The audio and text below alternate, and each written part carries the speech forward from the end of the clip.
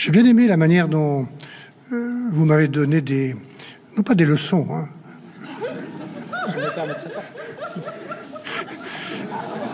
enfin les, enseignements, euh, même si ça n'a duré que huit mois, euh, que l'on apprend quand on est Premier ministre.